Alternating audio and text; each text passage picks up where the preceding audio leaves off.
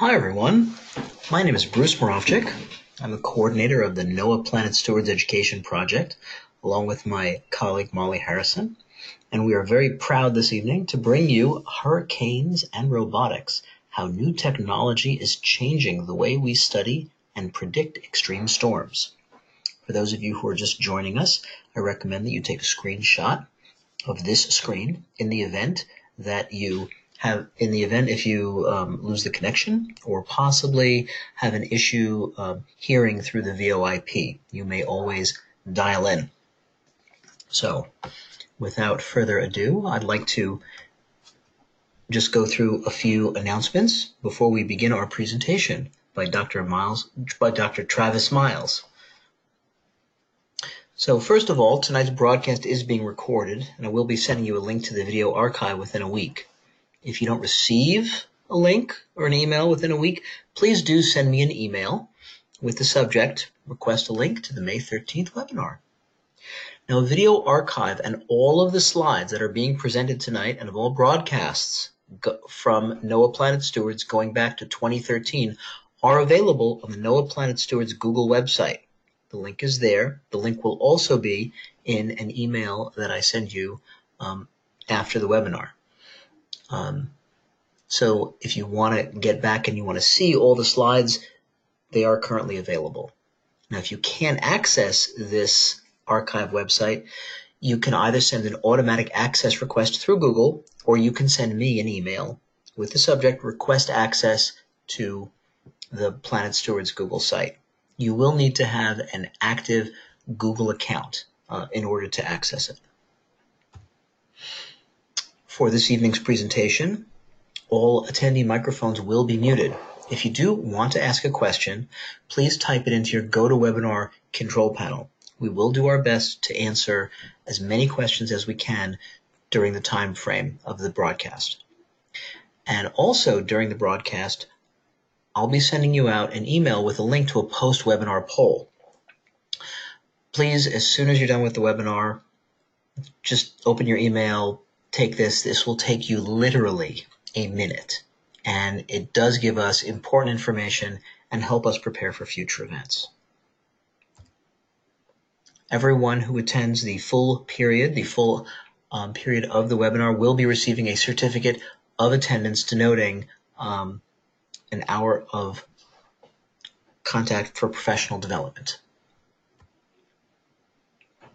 Now, again, before we begin, I would like to thank everyone who came to the and represented NOAA Planet Stewards at the National Science Teachers Association National Conference in St. Louis, Missouri last month.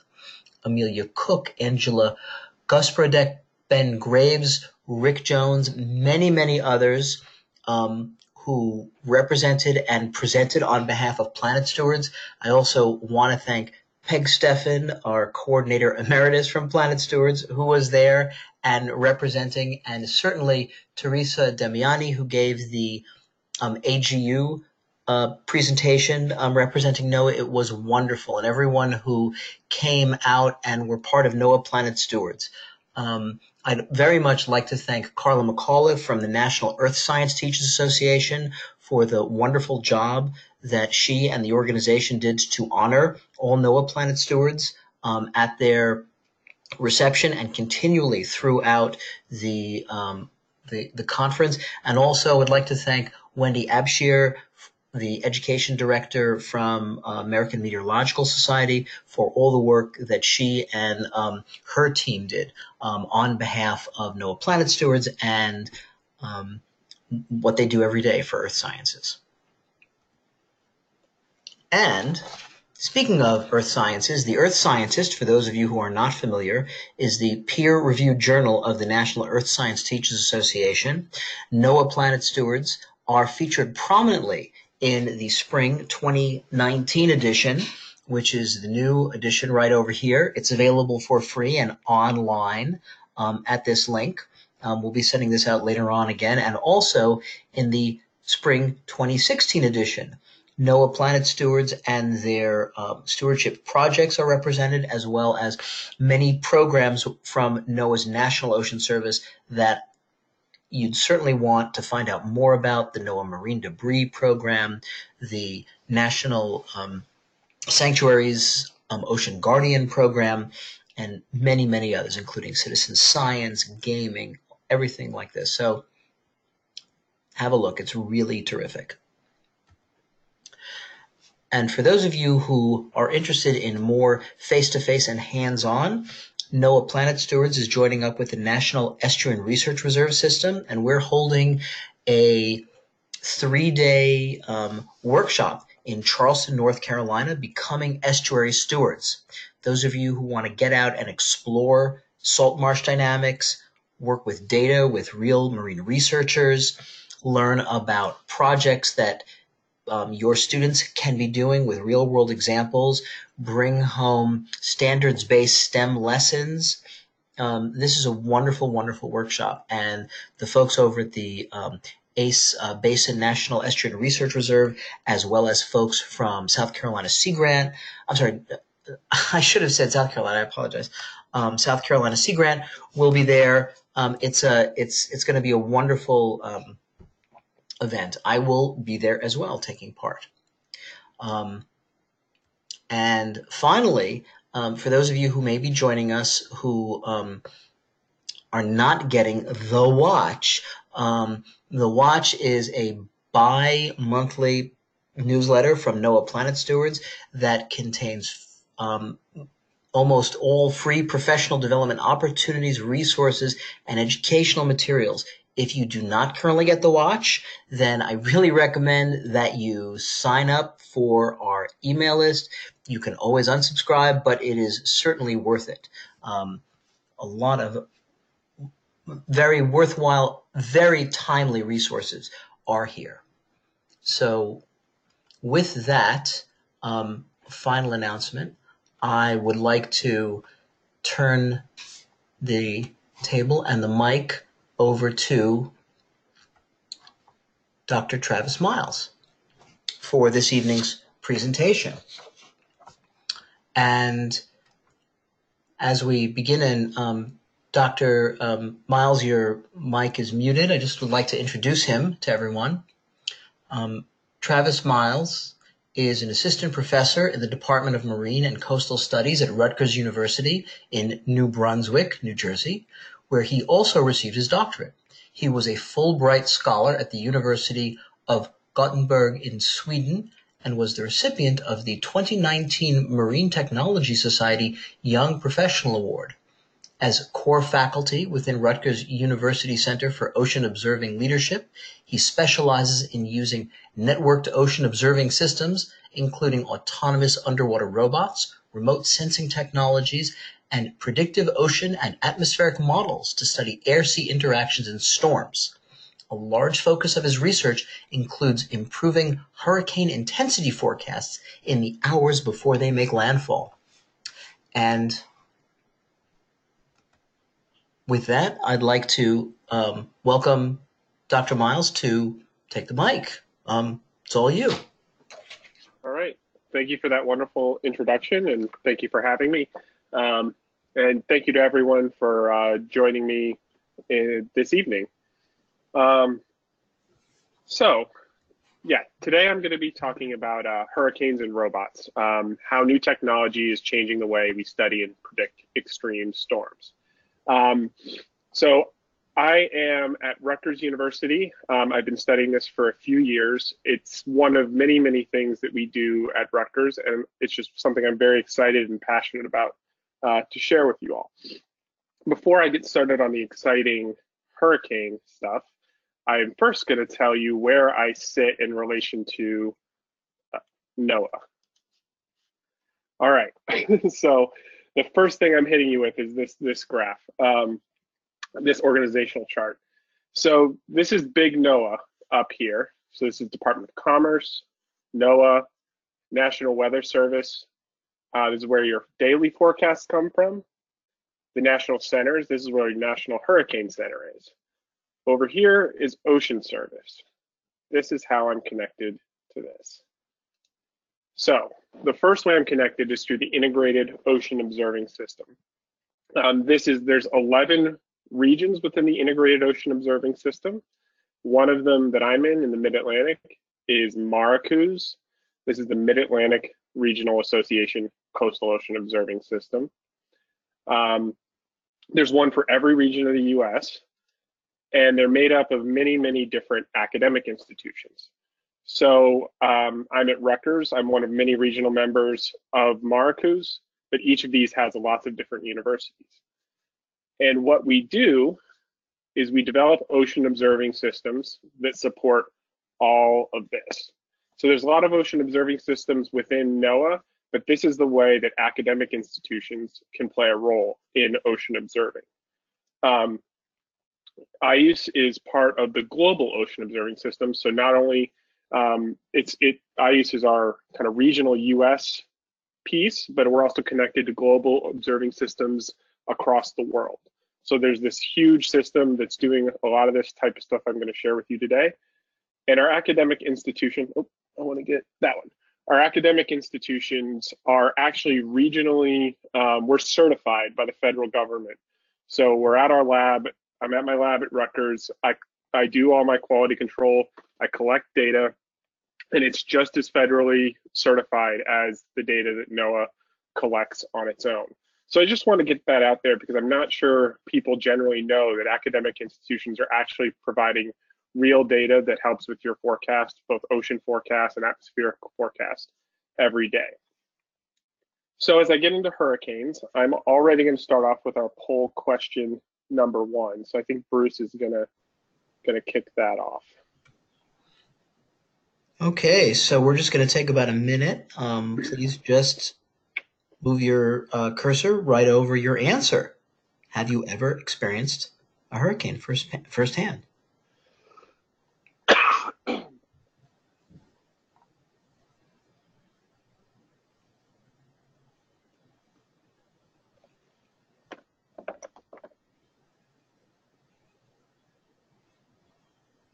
Okay, we'll give everybody just another few seconds to answer.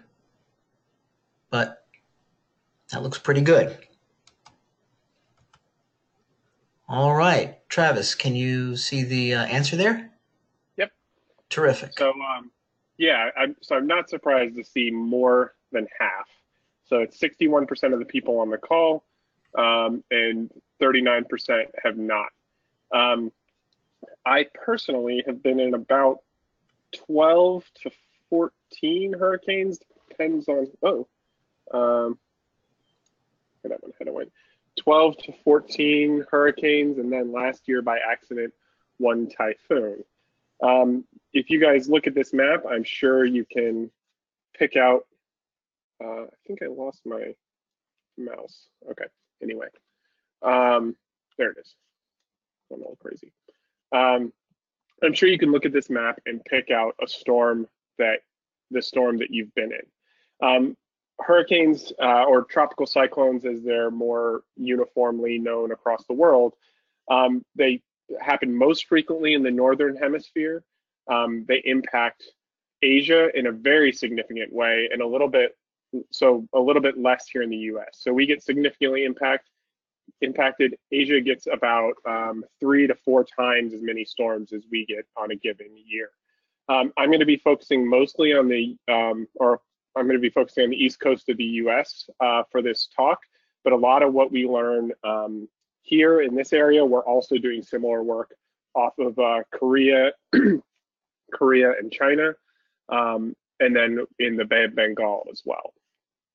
So the mid-Atlantic of the US and the east coast of the US, these are my, my test laboratories. All right. So why do we care about hurricanes? So it's not just that they uh, occur in these places, these places also are some of the world's mega regions. So this is where you have some of the largest populations at the coast, like up here in New York City, and then down along the east coast of the US, um, a little bit into Florida and then also these mega regions um, off of Asia. So this is Japan and Korea. Um, keeps jumping around. Um, Japan and Korea, and uh, all through China. So these places are are um, all in Hurricane Alley. right where most of the storms make landfall. So a little bit of statistics. um, so this is a table of billion dollar events that have affected the US since 2018. Tropical cyclones have caused over 870 billion. I think this is a little behind. I think with 2018, it's over 900 billion dollars in damages. That's more than all other natural disasters combined. So it's a massive amount of damage and a massive, massive amount of economic loss. But more importantly, they've killed a lot of people. Um, they've killed over 6,000 people since 1980, and that's again similar to all other natural disasters combined. So between damages and loss of life in the US, they're a really, really uh, challenging thing to deal with. Um, and this is just in the US. So internationally, these problems are much bigger. Not so much in dollars, but in human lives. So this was one storm, Cyclone Nargis in 2008. I want to take you take you to take a minute and think about where you were in 2008. That wasn't that wasn't that long ago. Um, 138,000 people were killed uh, by one cyclone with actually with 48 hour warning. So even with two days warning of a good storm track and intensity, um, there's still this loss of life in the developing um, in the developing world. So it's a really serious thing, and it's something that if we can make small improvements, that can have a really really big impact. All right. so what's our first line of defense against these storms? Um, with with uh, Cyclone Nargis, a 48 hour warning wasn't enough. But what we want to do is keep increasing that warming warning time um, and letting people make, enabling people um, to make uh, educated decisions um, when they need to evacuate, when they need to shelter in place, and, and what they need to do. So the first line of defense, an accurate track and intensity forecast. So how are forecasts made? Um, I put this really terrible plot up here with a lot of acronyms, um, but I'm going to go through each part of it with you. But this is generally how a hurricane forecast is made. So to start, we collect data. So the first thing that happens when there's potential inkling of a storm is we look at all the different data sets. So National Hurricane Center will do this. They'll look at all the different data sets that exist. Um, usually that's satellite data, ships and buoys, aerial reconnaissance, uh, radiosondes, which are essentially dropped probes out of planes, look at radar, and then I don't even remember what ASOS is off the top of my head. So we collect all this data. We, we take that data, we ship it off to the National Hurricane Center directly, but it also gets ingested into weather models, um, these atmospheric and ocean models. And those weather models, there's some that are, are um, numerical models that are the same, similar to what gives you your daily forecast of rain or, or winds or whatever it is. Um, and there's statistical models. We don't have to get into the details, but basically that data feeds into the models and the models start running. So puts out, puts out uh, model output comes out and that model output is looked at alongside the um, observational data directly by the National Hurricane Center, and a forecast is issued to local communities. So one thing I want to make clear is that people make forecasts. The models just give some sort of output or some sort of guidance. It's people that are actually looking at that data and making an actual forecast and issuing that guidance. So when we talk about improving our hurricane intensity forecasts, it's not just making our models better, it's also making our people better. So understanding processes, learning about the ocean, learning about the atmosphere can really help improve forecasts just with our knowledge. Um, so this is one forecast cycle. And basically every three hours, every six hours, however long it needs, uh, however uh, much time between them, this cycle is redone over and over and over until a storm uh, makes landfall. so the key part I'm interested in as a ocean and atmospherics and scientists is mostly this data part. So we'll come back to that. But I want to make sure that we have the right data that we need um, th to make these, uh, to have our models run correctly, but also to make those good forecasts. So right now, how are we doing at forecasting? So slow down a little bit on this one. Um, so this is from National Hurricane Center. This is the average track errors for the Atlantic Basin. So I'll explain what this means. On the y-axis here, this is forecast error in nautical miles, and then year is on the bottom. Um, I'm going to focus in on this yellow line, which is a 72 hour forecast line. So this is what's going to happen three days from now. That's about three to five days is about what you need to make an evacuation or shelter in place decision. So I focus on that line. So since 1970, in 1970, we were doing, uh, we had about a 450 nautical mile error on average. So, um, and that's in 2015, that was reduced to about 100 and about 100 nautical mile, mile error.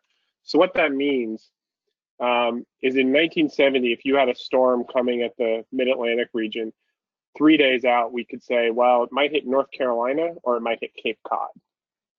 So today, we can do much better than that. We can say, well, it might hit near Philadelphia or it might hit New York or a little bit of Long Island.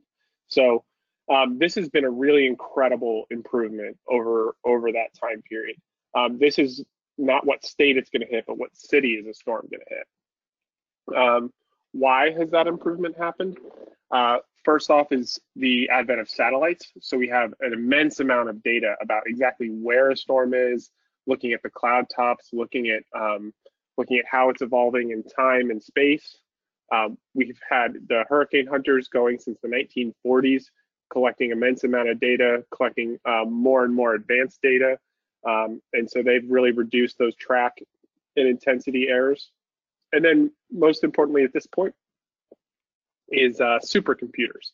So we've been able to run um, numerical models over and over and over and over again um, to come up with some our best guesses at where a storm might make landfall. All right, so that is track. This is average intensity error. And when I talk about intensity, I'm actually talking about the maximum wind speed. That's the standard way of talking about storms. It's not the only way that you can have damage. You can have damage from flooding, from rain, things like that. But wind is typically how we gauge the uh, the strength of a storm. Um, so here we have forecast error in knots. So this is nautical miles per hour. It's close to miles per hour. Um, it, and again, if you look at these, um, this yellow line, which is 72 hours out, um, and this is year on the bottom, forecast error on the on the y-axis, you can see we've gone from about 20 knot error to about 15 knot error. So that means when they make a forecast and they say it's going to be um, X strong, there's about could be 20 knots either uh, stronger or weaker than that on average. Um, this depends on the storm and the conditions at any given point in time. So we've made a factor of three improvement in track error, but we've only made about a 20 to 30% improvement in the intensity error. So we still have a lot of work to do. We might know where they're going, but we don't always have a good idea of how strong they will be. Okay, so why is this? So there's limitations on hurricane intensity improvement. Well, I know I said supercomputers have been part of the answer for track, but we still need more for intensity. Intensity is very complicated to get. You need very advanced models with lots of high with high resolution that are run very quickly. Um, and we still don't quite have enough power to do that, enough computer computing power to do that. Um, but I want to open up my second question. What else is holding us back?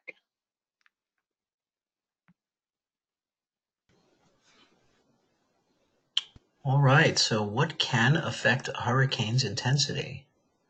Please place your best answer on the screen. Ocean temperatures, wind shear, dry Saharan dust, all the above or none of the above?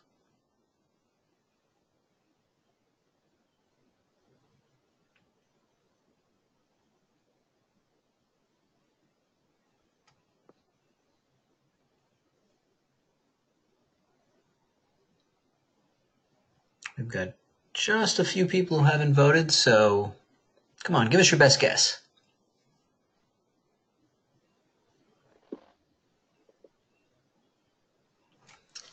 All right.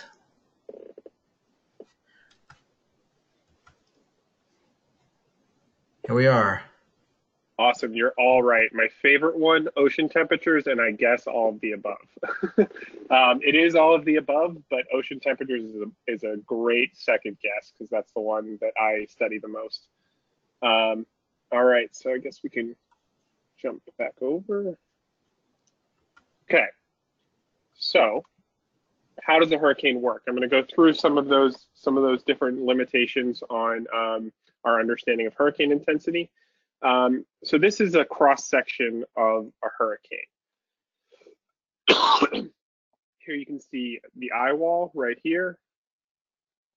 You can see these rain bands that are moving outward um, in these orange arrows that are pointing up.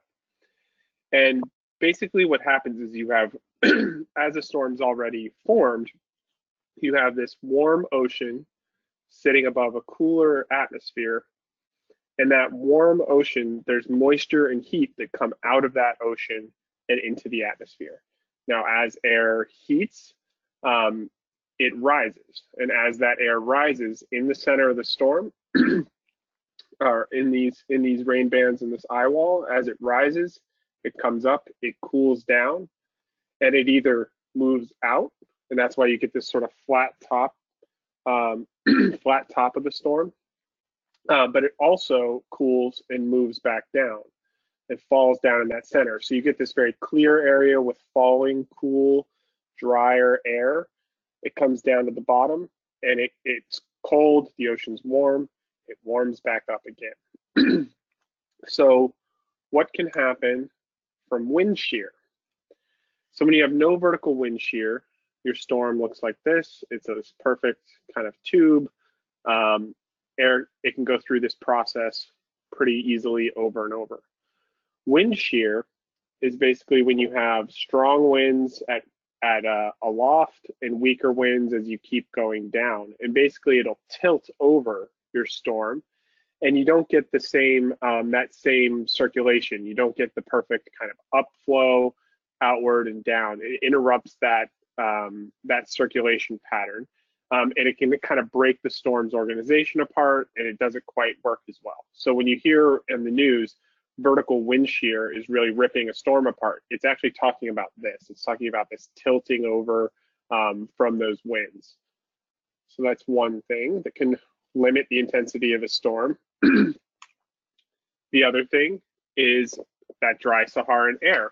So this is actually dust off of um, this is dry air. You can have uh, high dust in it. So, um, and when that when that comes into the hurricane, it really tamps down the moisture, and you don't get as much energy out of the ocean and up into the upper atmosphere.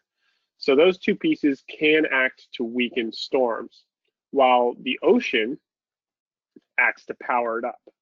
So wind shear can rip it apart, dry air can um, reduce the amount of heat coming up into the upper atmosphere, but the ocean is that fuel source. So here's two maps. Um, and I'm going to start on the left. This is uh, tropical cyclone. Um, this is Hurricane Katrina in 2005. Um, and this map is of heat potential. So this is the amount of heat actually in the ocean, um, not just at the surface, but the thickness part, the thicker um, the thick ocean. And what you can see, this is the track here of Hurricane Katrina. Um, it's weak through this area, goes across Florida, goes across this low heat area, and then as it moves over this really warm water, it powers up all the way up into a category five. It weakens just a little bit right as it leaves that warm water. It makes landfall around New Orleans. Um, over Hurricane Maria, you can see the same thing. So this is heat content, which is essentially the same as heat potential, this um, tropical cyclone heat potential. Um, here is the um, ocean, ocean heat content is the map, and then the category is on, on the line. So you can see weaker storm, category one, goes over those warmer waters, powers up rapidly to a category five, makes landfall in Puerto Rico, and then it it weakens again, but stays strong until it really peters out um, as it goes up into the up into the Atlantic. So, um, okay, I think I have another poll question coming up. oh, maybe not. Um, so I mentioned this in the past slide that this is a, a thick layer. Uh, oh, there's poll question three. I might have given it away. Poll question three is down there in the corner. Okay, so poll question three. What ocean temperatures matter for hurricanes? Surface temperature, bottom temperature, upper ocean temperature, or hey, temperature still doesn't matter.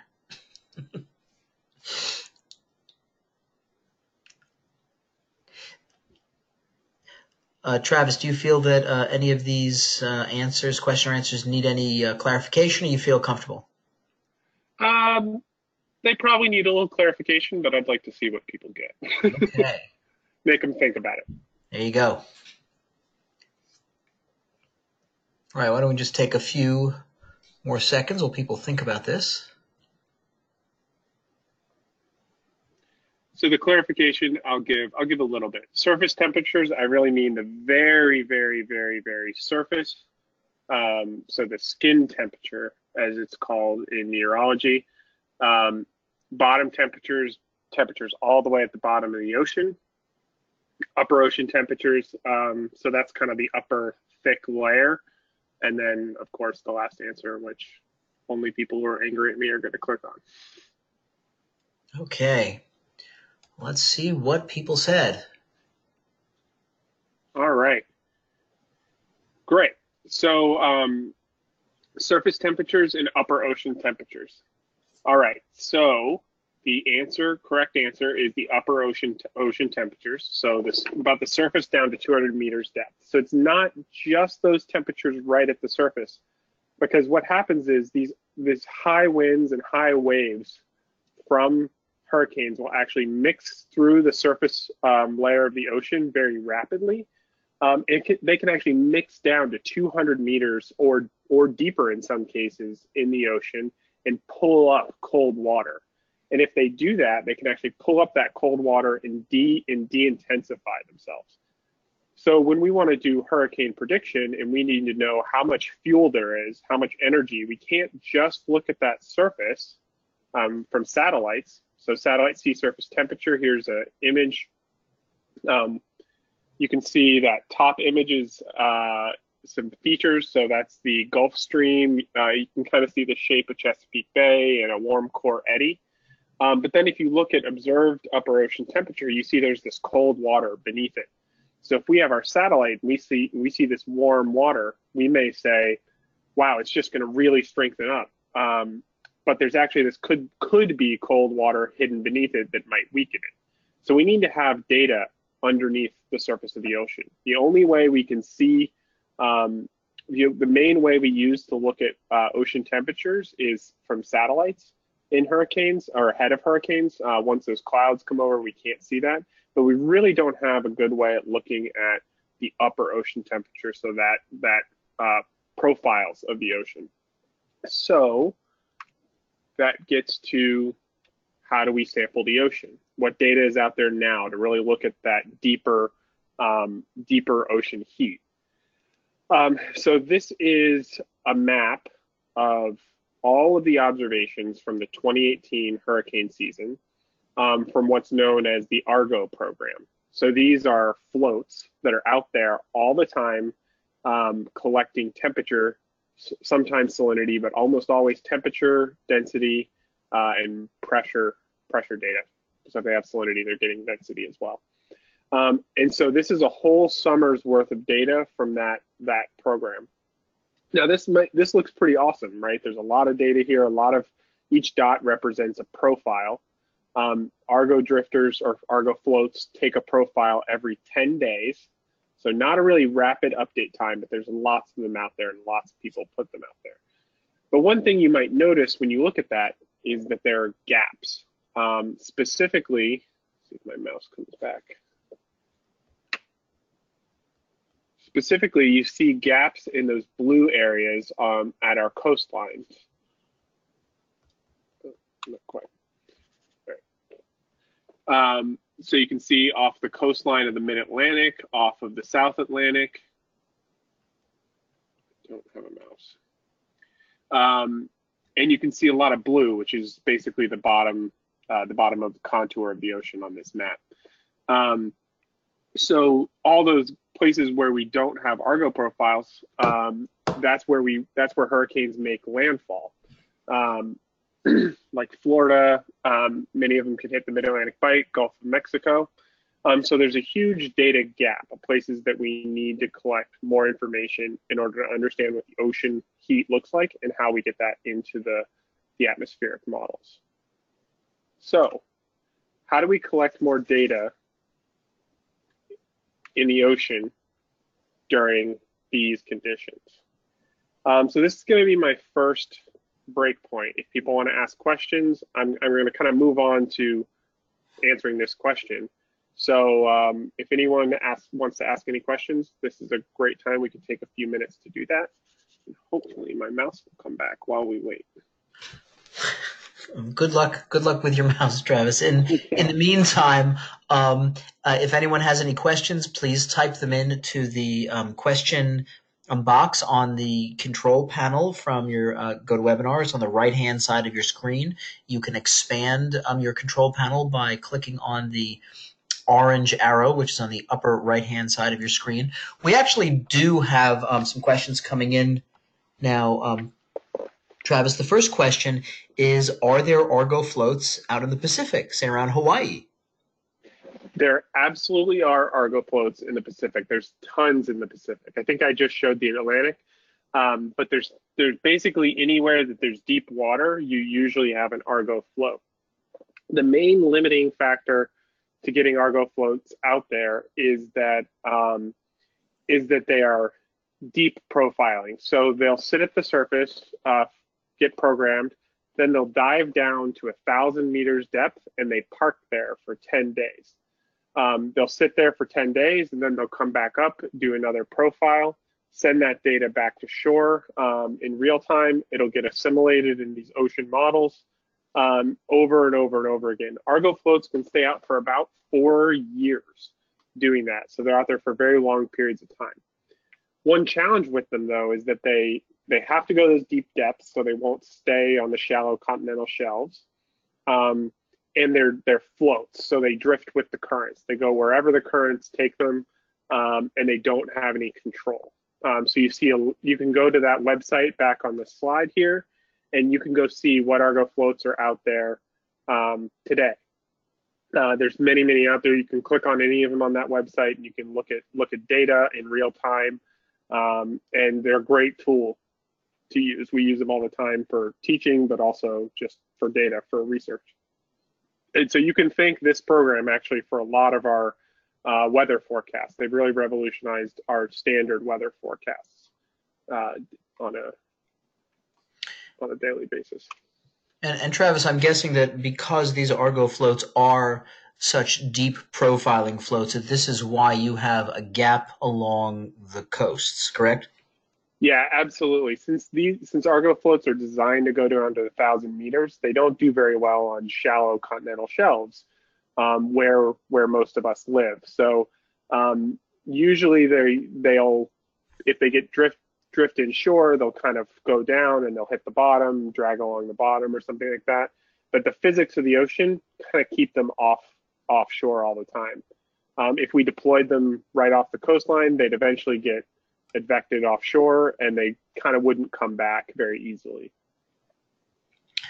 Uh, so, I mean, how often are Argo floats lost?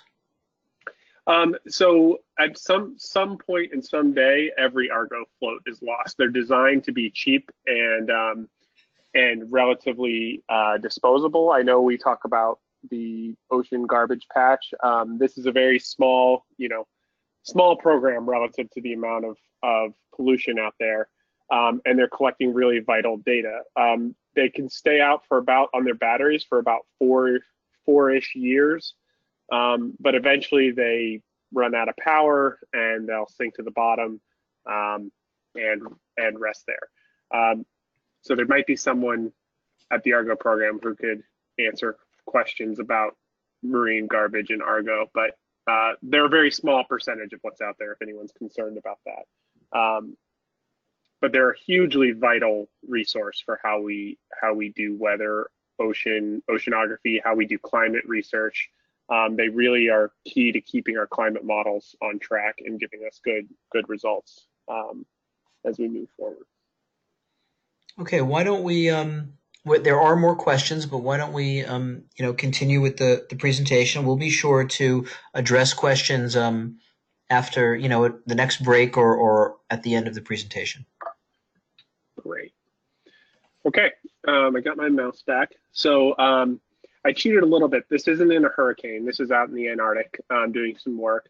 Uh, but this is still probably pleasant compared to what being on a boat out in, the, in a hurricane would be like. Boats are our key way of getting ocean data, um, and they have been for many, many, many years. But there are other options.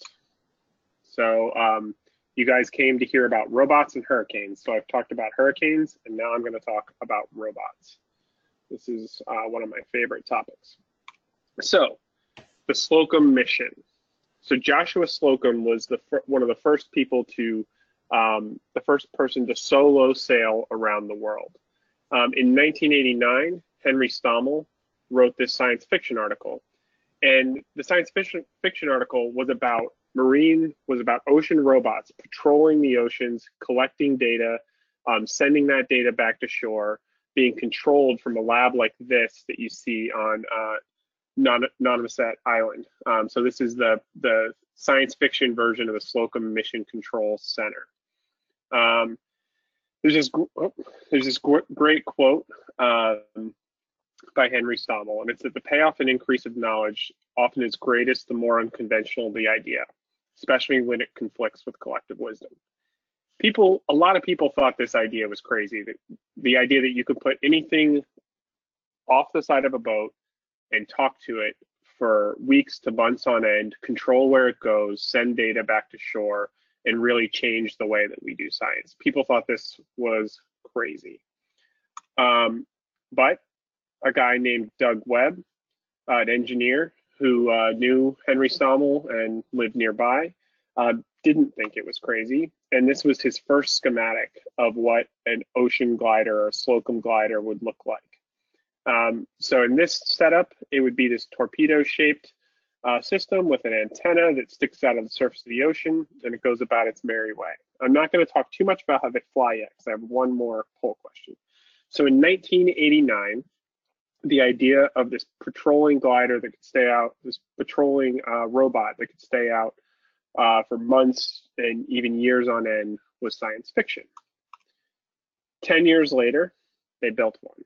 So from 1989 being science fiction to 1999, um, they built the first Slocum glider. So this is Doug Webb, um, the creator of the Slocum glider, um, and that's Clayton Jones on the left, um, who is the current um, head of Teledyne Webb Research.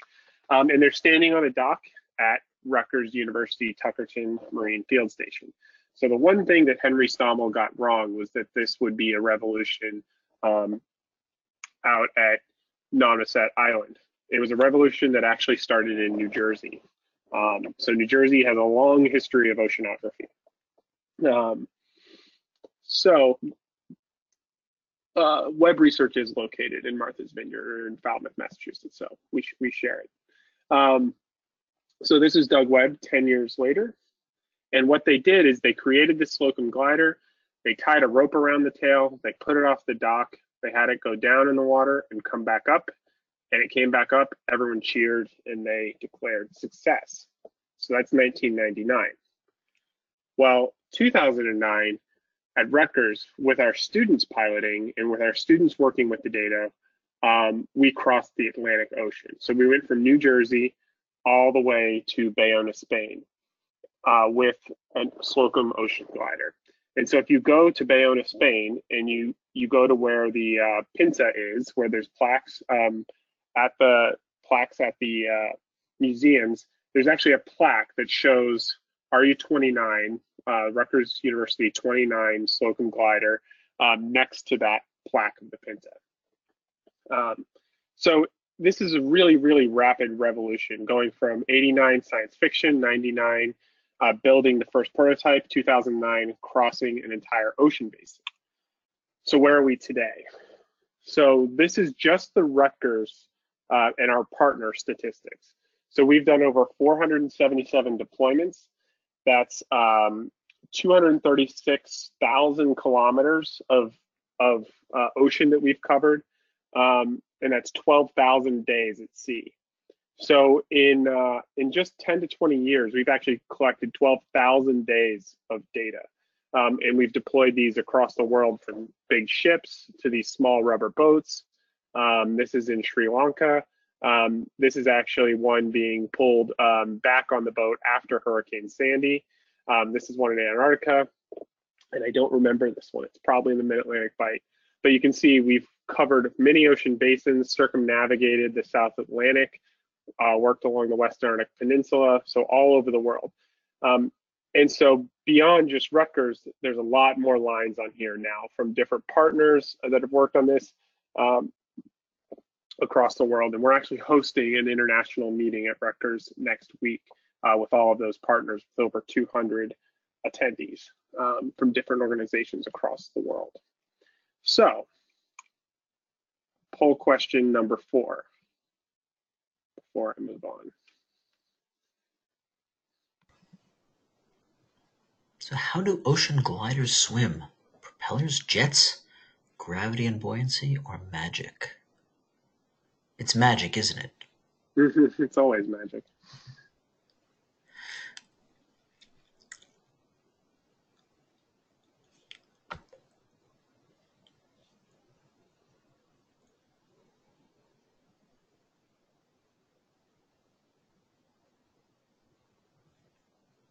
All right, so we'll keep the poll up for just another few moments.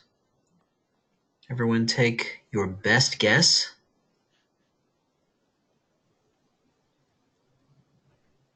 All right.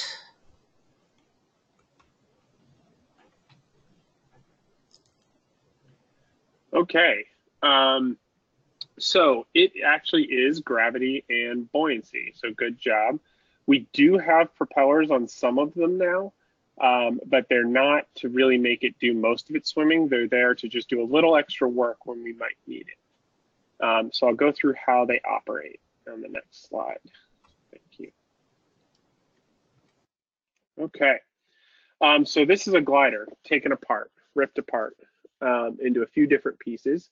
Um, and so basically they're these very, very simple, um, actually, uh, systems. They have these aluminum hulls. Um, some of them now are carbon fiber. Um, they have a buoyancy pump.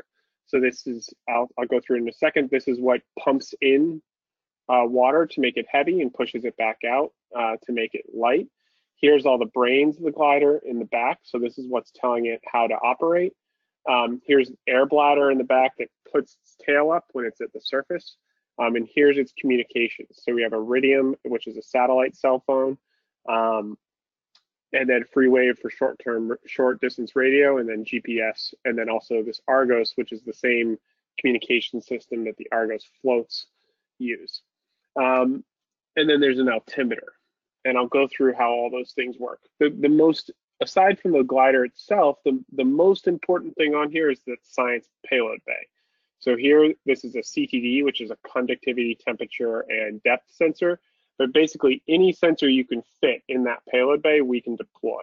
So it, it's gone from simple sensors like CTDs um, all the way to giant optical sensors that stick out of the system and look at particle sizes.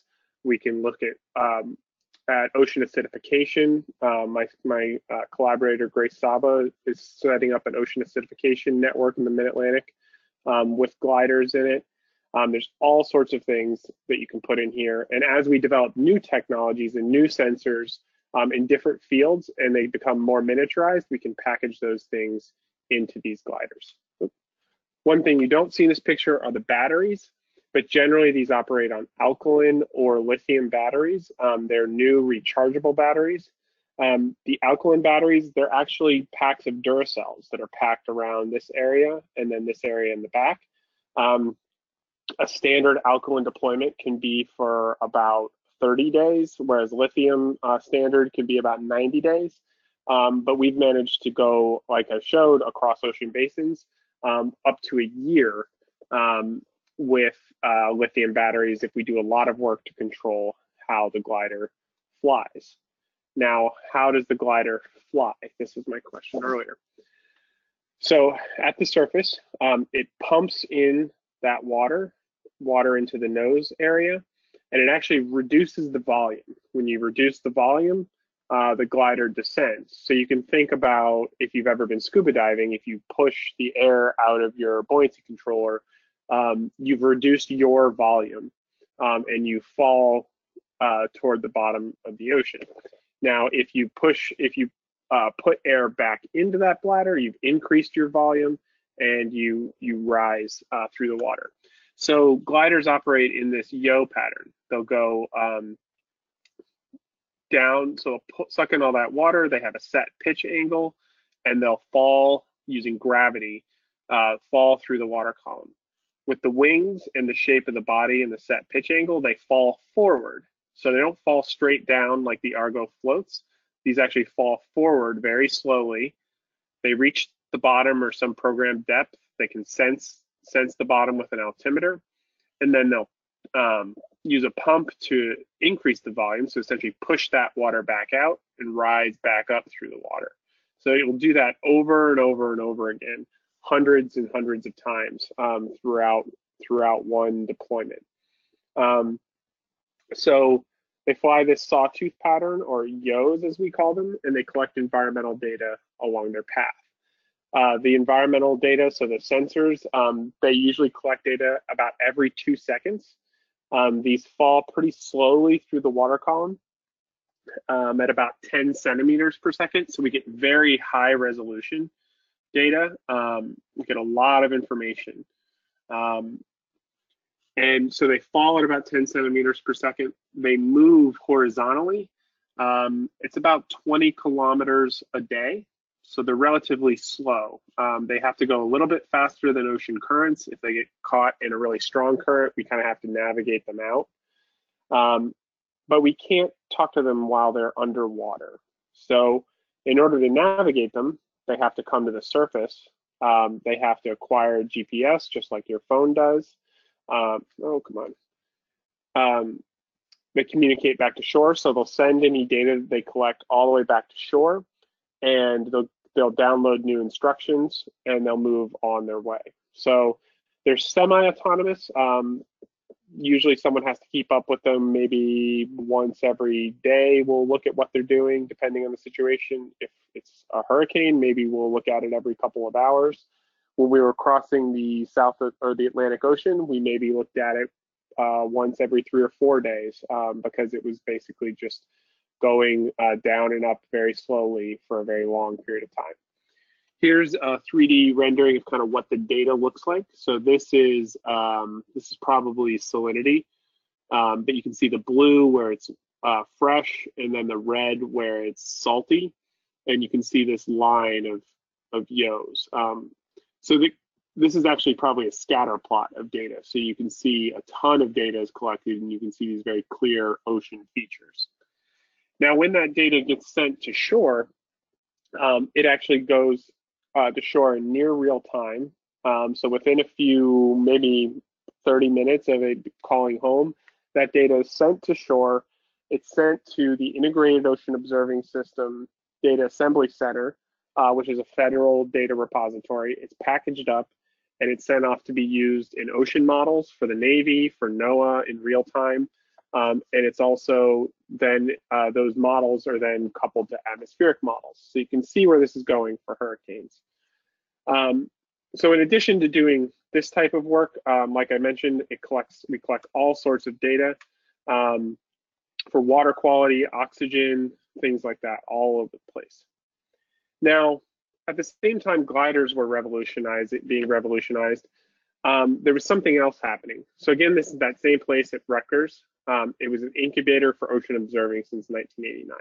So this isn't just about gliders. You can't, you can kind of see it down here um, in this hand-drawn picture. Um, and this is an ocean observing network. This is called the long-term observatory. You can see these cables all over the place. You can see some robots in the picture. Um, And so this is Fred Fred Grassle, who started um, the Rutgers Institute of Marine and Coastal Sciences, and he dreamed up this idea of having this long-term observatory, this omnipresence in the ocean or telepresence in the ocean. Because um, what's better than one glider working by itself? It's a fleet of gliders working with all sorts of other ocean observing systems at one common goal. So from this vision, um, it came into reality within within 10 years. Some some version of this, not quite this dense, but this was the dream in 2001 to have moorings, to have robots working, boats at the surface, um, and coastal stations doing their job, um, all at one goal. So 10 years after that, or not 10 years after that, but over the next 10 years, um, IOOS started being developed, the Integrated Ocean Observing System. Um, now this is the NOAA IOOS that I mentioned earlier, uh, and they really implemented this from this really high density um, ocean observing system to a broader regional observing system um, with similar pieces all in it. And then also the NSF Ocean Observing Observatories Initiative. So you can find data from this today, from IOOS today. So basically having these gliders was, was one step, but all these other observing systems coming online so we can have multiple swarms of of robots and moorings and um, HF radar coastal stations look at ocean currents. A lot of exciting things are happening. Um, and this is where we are, are now. We have all these observing systems. Um, and at Rutgers, with uh, the with MARACOOS, this is what our observatory uh, entails for our region.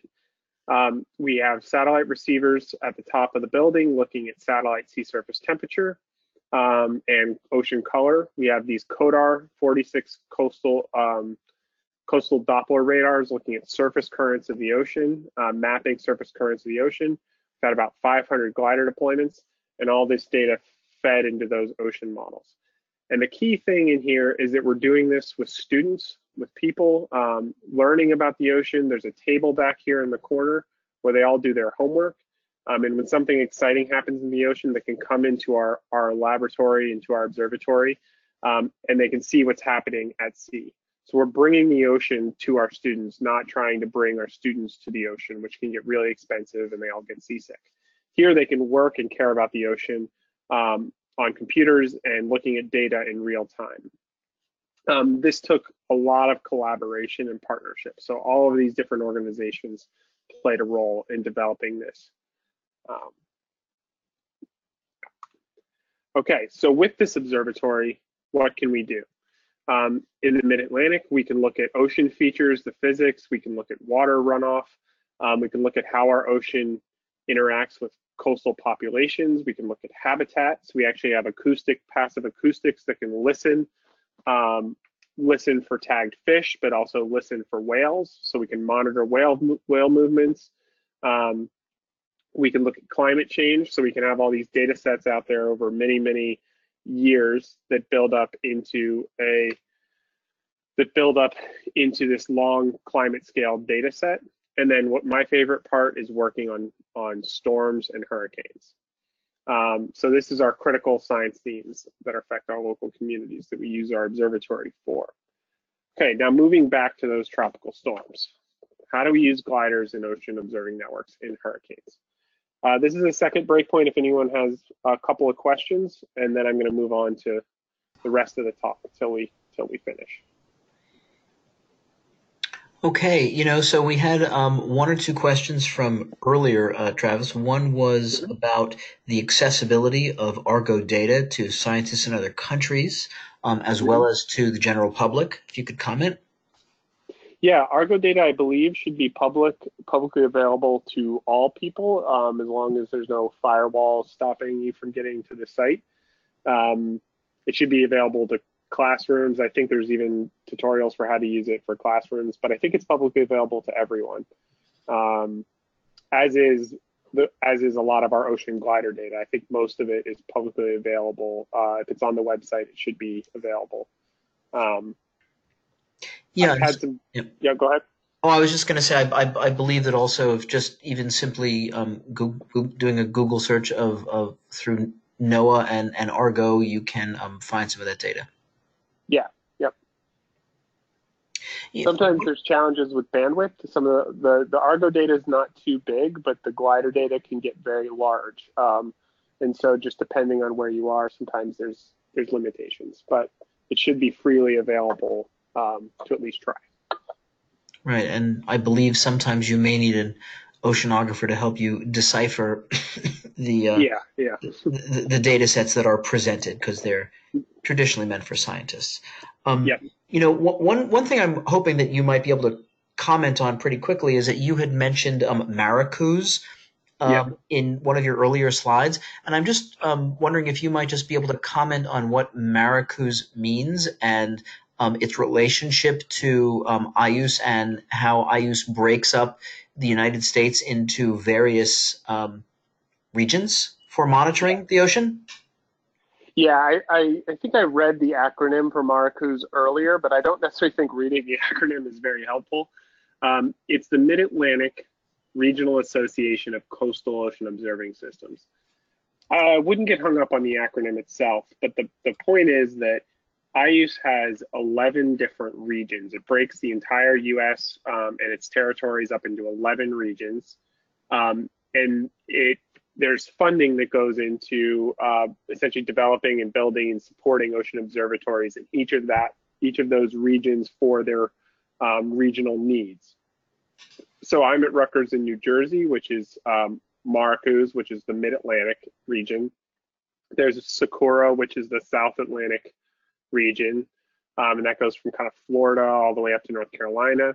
There's CARICOOS, which is the Caribbean, like Puerto Rico, Virgin Islands, and a little bit connected to Florida.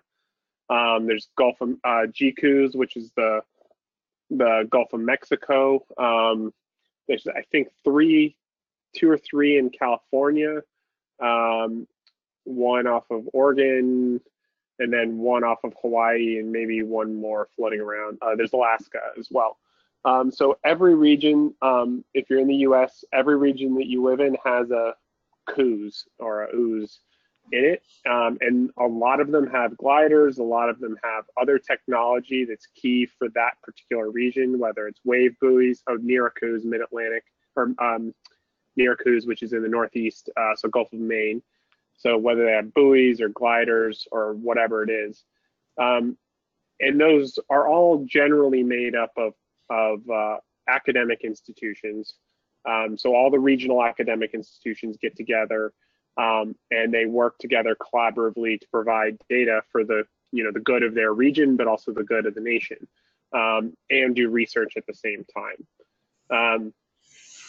So for MARACOOS, it might seem a little weird that I work on tropical cyclones, but I will. That's actually the next part of my talk, how I got into that. Um, but yeah, so if you search for IOOS, go to their website, iOS.org, I think is it, um, and you'll find your region on there and kind of who works on on what. And you know what? I'll, one last question, then we'll get back to the presentation, which is um, probably what a lot of people want to know. What do these gliders cost, and who pays for it? Yep. um, so that's a great question. Um, Depend well. So they cost about um, $150,000 to purchase, and they cost about 50,000 to $60,000 to operate for a month. Now that might seem like a lot of money um, compared to you know my salary or any of you know any of our salaries or anything like that. But um, when you think about how much a a ship, a research vessel costs, it's actually quite a bargain. So a research vessel can cost upwards of $80,000 per day to run, to go out and collect collect data and do the critical science that we need to do for uh, to understand climate change and um, and sea level rise and all of those all of those things. Um, so in just a few days of ship time, you could actually purchase and operate a glider for a month.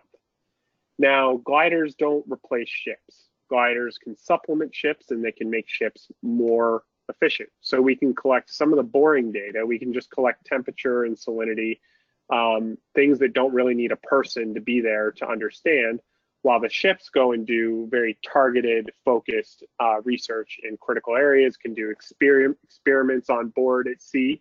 Um, and we take this model, we do this a lot actually in the Antarctic. Um, where we'll take a take a ship. That ship's time is very, very valuable because it takes so long to get there. Um, and we'll let we'll deploy multiple gliders and they'll go and do survey work while the while the ship stays in one spot and does some really critical experiments. Thanks. Thank yep. you. Um, all right, why don't we move move move forward? Okay. So this is the last segment, um, and this is this is how gliders got into being hurricane um, hurricane sentinels, as we call them.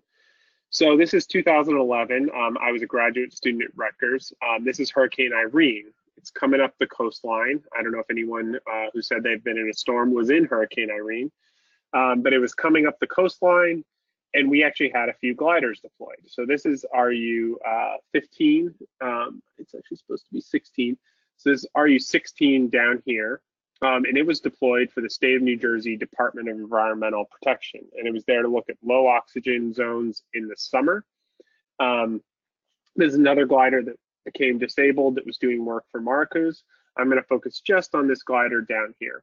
So Irene was coming up the coast. Um, we talked to the state state of New Jersey DEP and asked them what they wanted us to do with the glider that they were paying for.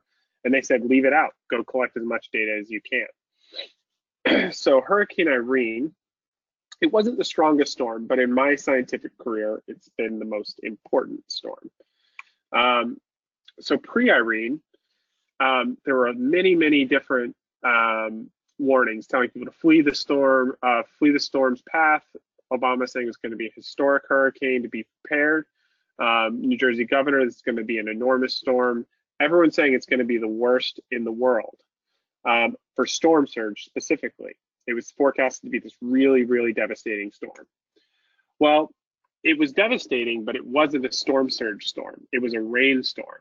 So it it rapidly weakened right before uh, making landfall, and it actually drenched inland. So this is at the Rutgers Boathouse, um, and Rutgers is about 30 uh, 30 miles inland from the coast. Um, and the coastline storm surge, really little to nothing happened from Hurricane Irene.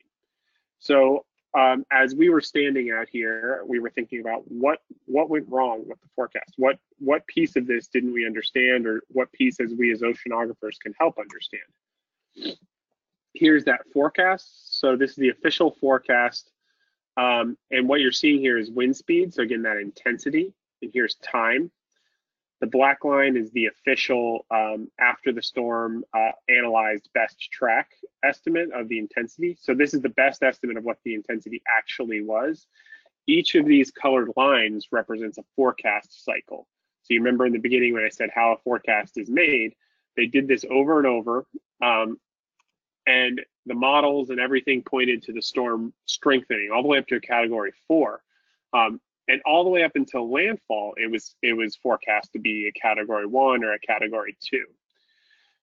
So we started to look at our our observatory data to understand what was happening. Um, hold on one sec. I'm going to switch my audio real quick. I think dying.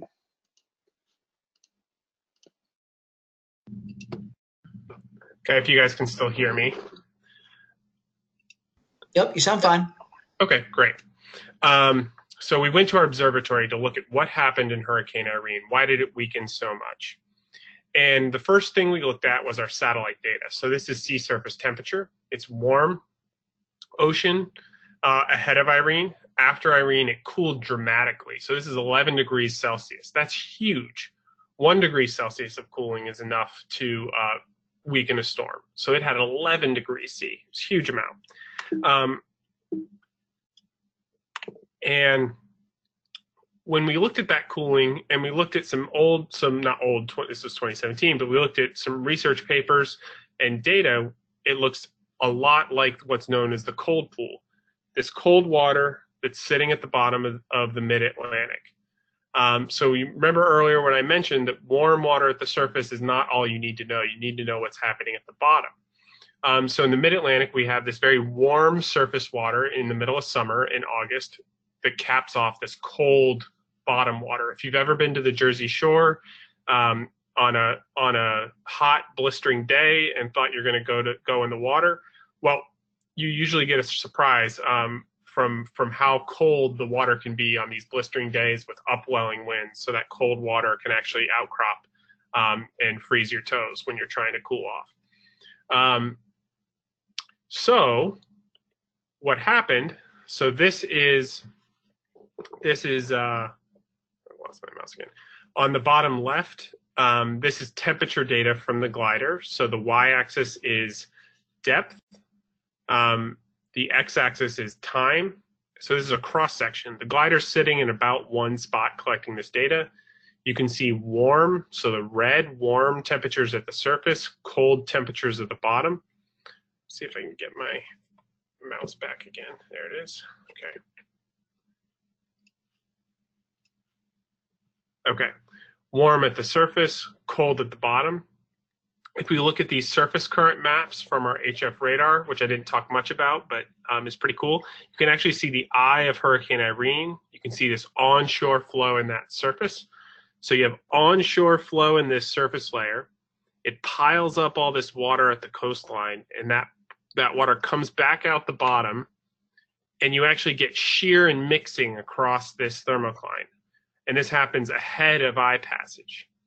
And so that's really important that it happens it happens ahead of eye passage. If a storm goes over warm water, it'll stay strong. But if it goes over cold water, um, it'll rapidly weaken, like I talked about earlier. So the the storm actually um, came through like a lawnmower and just sheared off that warm surface layer and de-intensified itself. It actually had this feedback on its own intensity right before it made landfall, and it weakened rapidly. So here's that here's that process right here. Head of eye center, uh, you had the shear, mixing, cooling, reduce the intensity, and it reduced the storm surge. So this is a really exciting finding. Um, and when we did some tests with our atmospheric models, where we put a warm ocean underneath our atmospheric model and a cold ocean underneath our atmospheric model, and we looked at what the the wind speeds look like. So this is these are two different maps of the wind speeds um, from our atmospheric model sensitivities. Um, we went from a category one hurricane with the warm ocean to a tropical storm for the cold ocean. So we reduced the wind speed by 10 knots uh, just by changing that temperature a little bit.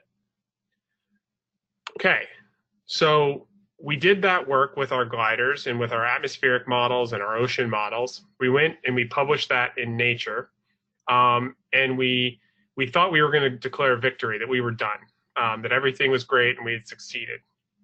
But that was really the beginning. So this was back in 2016 when this was published. We collect the data in 2011. It takes a while to publish.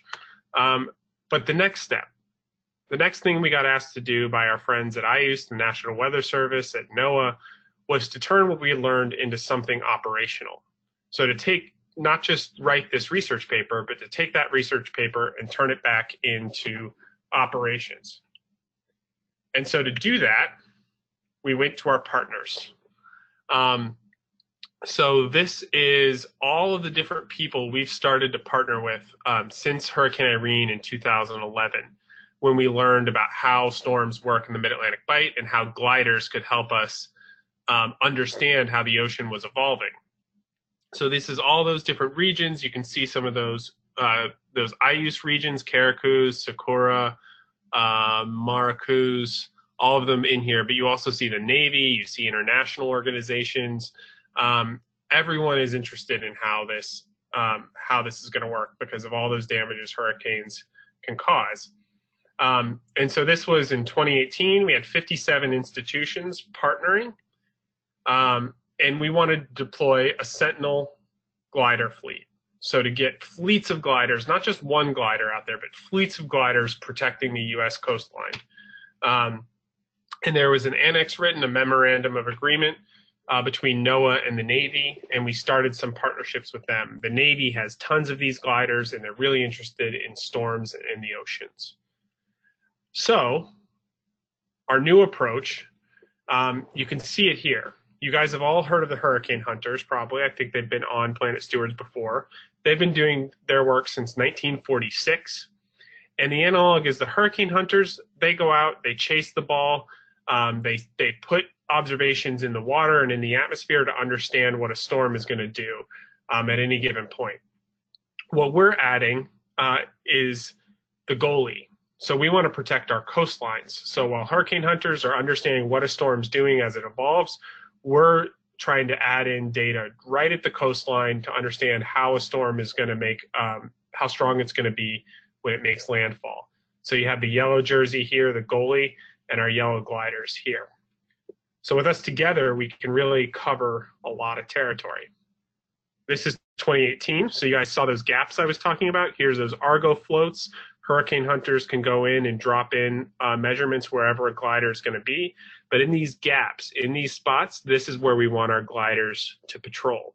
So the, the mid-Atlantic coast, the South Atlantic coast, the continental shelf off of uh, Gulf of Mexico, and these little areas um, in these blue patches, areas between the islands where Hurricane Maria came, and we want to extend this observatory down. We even had one in the middle of uh, Tropical Cyclone Alley, so this is where hurricanes form.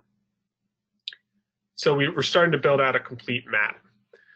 Um, this is one snapshot of where all those gliders were last year. So this is 30, 30 different Sentinel gliders out on one single day. So each of these tails uh, represents a glider that reported data on that particular day. And we have this one picket line of gliders, another down here in the Caribbean, and one out here in um, this tropical South Atlantic. And you can see three storms on that same day. Hurricane Florence approaching uh, North Carolina, Isaac approaching the Caribbean, and then Helen out to sea. Throughout that whole season last year 2018 we had 62 uh, community gliders deployed. It's 123000 profiles. That's 20 times more ocean data than was ever collected um, in these regions in a hurricane season like that so it's really astronomical a lot of these are navy gliders you can see the navy tails there's noaa gliders these are um, these are noaa aoml which is an organization in florida um, and then you can see the academic fleets um, in their different in their home home regions um, in their IOOS regions. So we built out this observatory and we had all the data sent to shore in real time. So we're currently analyzing that data, but there's two storms we we captured. Um, but the two major storms we captured, uh, we had data in. So Hurricane Michael was that Category Five storm that came up and hit Florida. Um, it rapidly intensified over warm ocean features, and there were seven Navy gliders in the area that was part of our coordinated fleet sending data back. So you can see all these different all these different triangles here. They're the gliders. There's one triangle right here who's my hero, who's right under Hurricane Michael, right as it intensified into a category. Um, it actually has been reported to be a category five. So right here, it actually became a category five in the most recent report. Um, and then uh, Hurricane Florence. Um, there were many gliders out across this whole region. Uh, there were a few directly in the path. Um, so this is category four at maximum. It rapidly weakened ahead of landfall and had record-breaking rain. Um, and so there's many NOAA and academic gliders throughout this fleet. So we had Navy in the Gulf and many, many NOAA and academic fleets out here. So this is just a taste of what we can do. We're still analyzing the data for those. You saw that it took from 2011 to 2016 to write write that Nature paper. Uh, so it takes a lot more time to do the science than it does to collect the data. So we're hard at work on that. Um, but we have uh, planning underway for more gliders in the 29th season, uh, 2019 season. Um, so I have one more question, and that's when does the 2019 hurricane season start. And so uh, I think that's a type in answer that Bruce is going to do. Right. So if uh, everyone can uh, just go over to your keyboards and type into your question panes, let us know. Uh, let us know what is the first day of hurricane season. Let's uh, see what everyone's knowledge base is. And while folks are typing that in, um, just a just a question for you, Travis. Um, you know, right now it's it seems, and please correct me if, if I'm wrong on this, but right now it seems that you are able to um, take uh, this data um, and and sort of be able to sort of analyze the the intensity of the hurricane, the strength of the hurricane, based based on the you know the water temperatures that are in in the path of it um, and, and potentially what it will do. Um, I guess the question is, what kind of predictive capacity are you looking for in the you know in the near term and possibly in the long term, which will help um, regional managers or folks in NOAA's National Weather Service with their forecasting of hurricanes to be able to provide um, warnings for folks? Yeah, so um, I don't have a specific answer for you, but what we're what what we're trying to do is improve the ocean models that are coupled to the atmospheric models in regions where there just has, has not been a history of observations that have been capable. So what that means is understanding how ocean temperatures on continental shelves right before landfall contribute to um, rapid intensification or rapid weakening. There's very, very little ocean data in the middle of hurricanes. Um, and so being able to put these out there ahead of time, um, they give us some understanding of whether our ocean our ocean models are either totally right or totally wrong, and maybe our physics are right or our physics are wrong. Um, and so we're just now starting to be able to do those experiments because we have these validation data sets. So the ocean is your fuel source for these storms. and no matter how much you get the physics right in the atmosphere, if you have the wrong amount of fuel or the wrong type of fuel, you're going to get the wrong um, the wrong intensity forecast. So we're trying to really reduce the uncertainty in the ocean um, as as how it connects to an intensity forecast for a storm.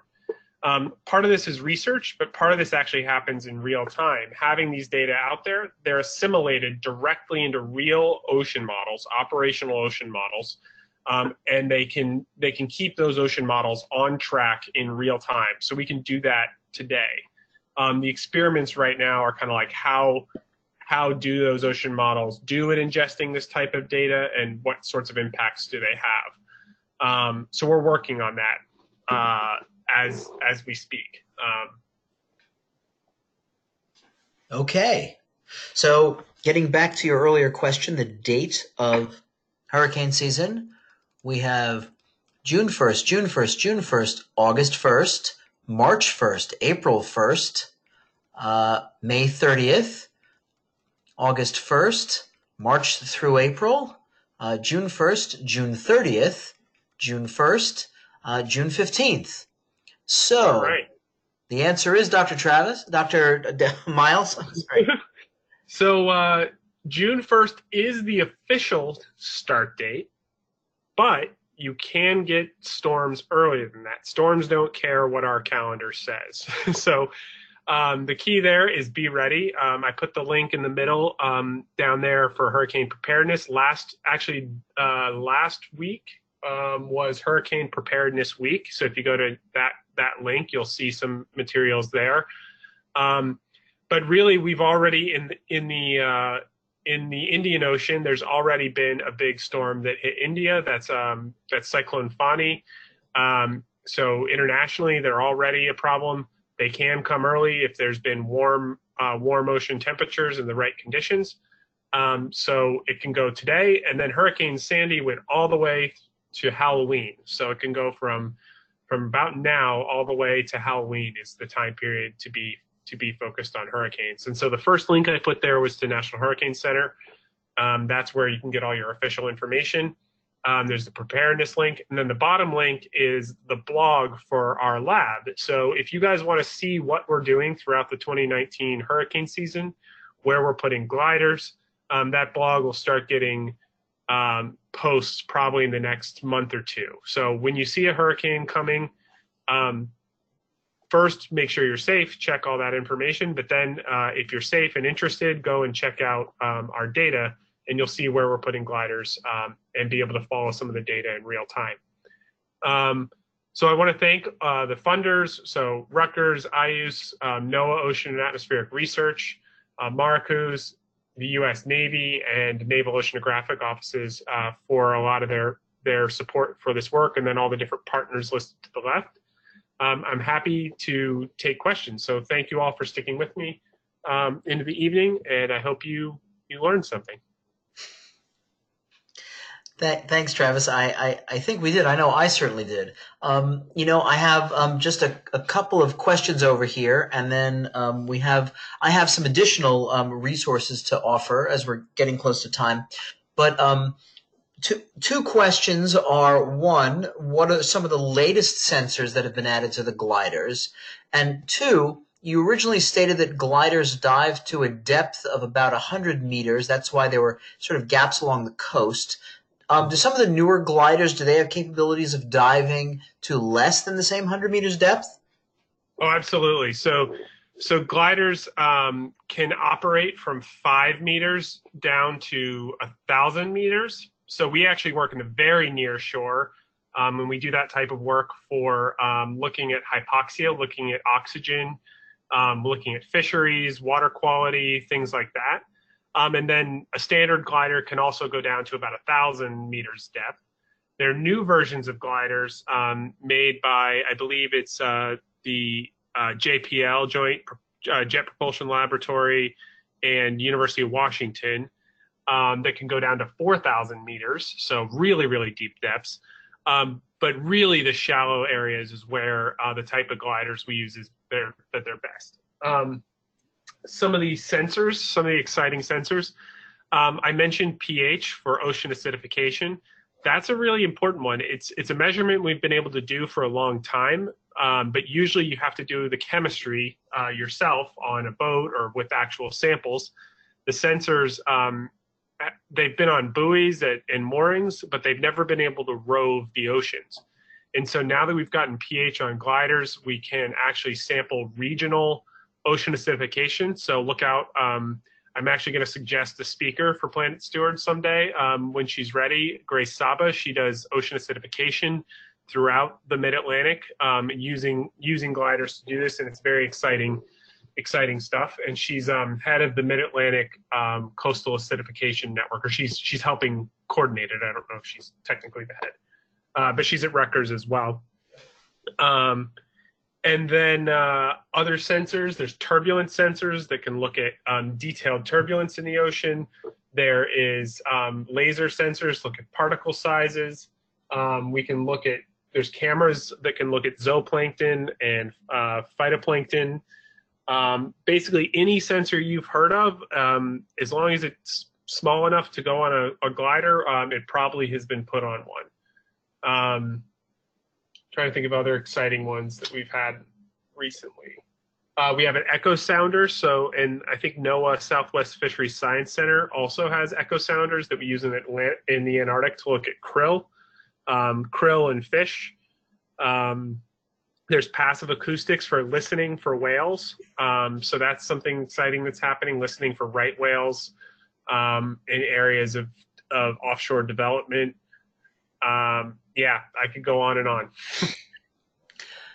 well, thanks. It, I mean, it, it really is a, a fascinating um, field uh, with the um, with the range of technology that we can put into these autonomous vehicles um, beneath the the ocean um, as well. And and thanks so much. Um, Dr. Miles for for coming and contributing to uh, NOAA Planet Stewards uh, education community this evening, and we're sort of running on the very edge of time. Um, and what I'd like to do is just to go back and I have a few slides left before we end um, this evening. I'd like to let people know to please go to their emails and that they've gotten a link to our post webinar poll.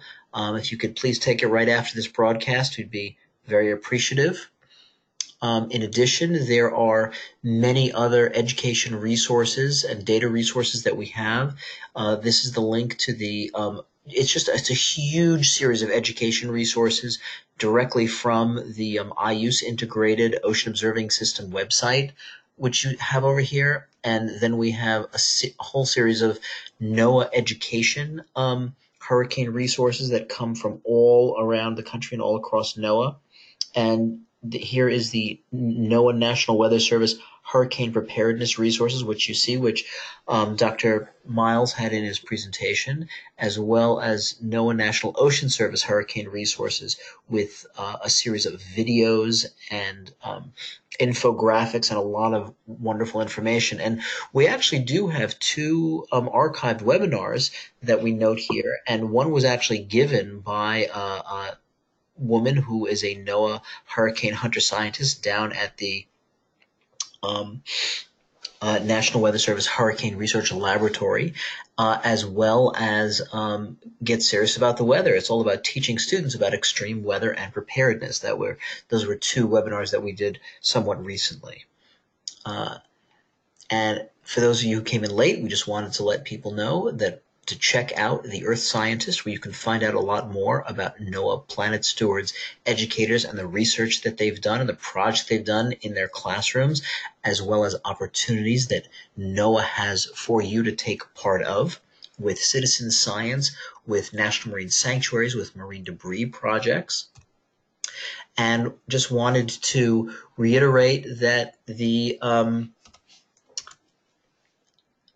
workshop that we have going in um, South Carolina in uh, NOAA Planet Stewards in collaboration with the National Estuarine Research Reserve System, um, June 18th through 20th in Charleston, South Carolina, just coming up. And if you want more information on that, just go to the Planet Stewards upcoming events webpage um, on our website and you'll find it. And uh, I thought that we would take this opportunity, if any, we can ask some more questions. But with oh, and, and of course there's the watch. I was telling people about this, our bi-monthly um, newsletter for educators. Um, just sign up for it by going to the website. Uh, and then we just thought we'd end. We've been talking a lot about hurricanes, about terrible weather, and we know that a lot of people have been getting a lot of rain. But fortunately, and hopefully people will be getting some wonderful scenic views and some flowers. We thought we'd use take this opportunity, this moment of zen, before we um, before we uh, go offline. Um, I just want to see if there. I, just wanted to thank everybody for for being here and spending um, time with us. And um, we look forward to seeing you again soon at the next NOAA Planet Stewards um, event. And um, Miles, you, I mean, Dr. Miles, do you think you might have a moment or two for, for one or two more questions? Yeah, I'd be happy to. Okay, well, I will stop this recording and thank everyone, and thank you for taking your time for for being here. And um, we'll take a few more questions. So, thanks very much.